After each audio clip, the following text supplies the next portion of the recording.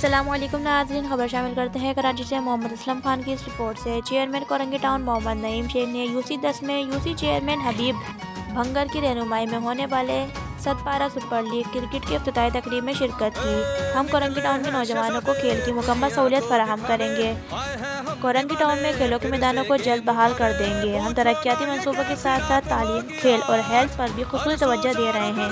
नईम शेख अफ्ताही तकरीब में information secretary, Pakistan Peoples Party, जिला कोरंगी जानी मेंबर रहनुमा Pakistan Peoples Party, Rauf Nagori, general secretary P Y O Karachi, Haider Khan सदर पी वाई ओ जिला कोरंगी मतीन लोधी मेंबर सीन कौंसल असद मुजाहिद, समाजी रहनुमा Asif Lodhi information secretary P Y O जिला Korangi Faheem Sattar vice chairman UC दस Adnan Mughal chairman UC ग्यारह Murtaza Memon vice chairman UC ग्यारह मौलाना अब्दुल गफूर समेत तंजीमी अहदेदारान और वर्कर्स सतपारा सुपर लीग तमाम टीम टाउन म्यूनसिपल कॉरपोरेशन के डायरेक्टर डिप्टी डायरेक्टर और दीगर अफसरान भी मौजूद थे।